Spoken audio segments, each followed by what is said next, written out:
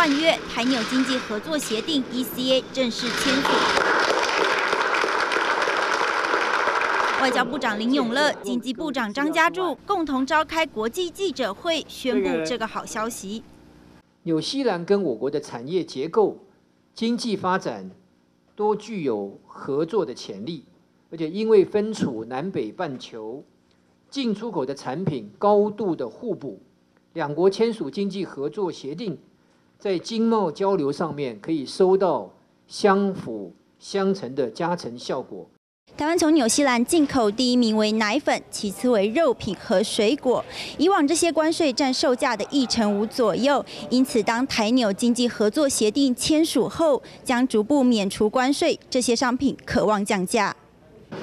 协定一生效，从纽西兰进口的冷冻鸡、猪肉、樱桃、苹果、龙虾等一千三百二十三项农产品将立刻免税，牛肉、牛杂两年后逐步免税。台湾人最爱的纽西兰奇异果预定三年后解除关税，不过还是有人担心协定生效冲击的是我国的农产品。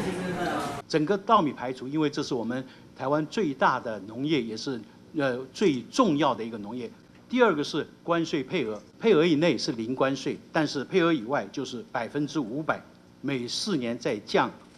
百分之一百。他们的奇异果、樱桃，我们也没有办法生产，所以进来了以后，我想我们消费者是可以享受比较低价的，呃，这些水果。台湾方面去年出口到纽西兰约六亿美元，主要以电子、机械、钢铁、脚踏车、螺丝等商品为主。台纽签订经济协定后，收益最大的将是工业产品。经济部长张家柱表示，目前台湾商品出口到纽西兰还要课百分之五到十的税，之后通通会降为零，对我国 GDP 的成长也会有实质效益。其实我们出口到纽西兰的，呃，大部分都是我们的工业产品。包括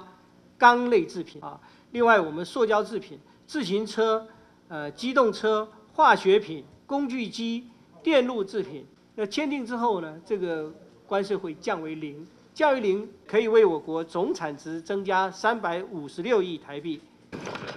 除了实质经济成长，台纽签订 ECA，纽西兰商品价格在台湾将会更具竞争力，对于其他国家进口商品将会造成影响，也敦促更多国家和台湾签订类似的经贸协定，甚至进一步推动台湾加入经贸合作组织，成了台纽经贸协定签署后的一大利多。